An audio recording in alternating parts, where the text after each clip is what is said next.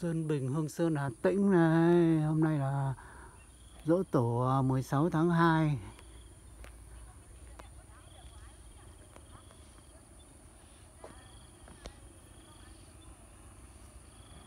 Trường Trung học cơ sở Hồ Tùng Mậu.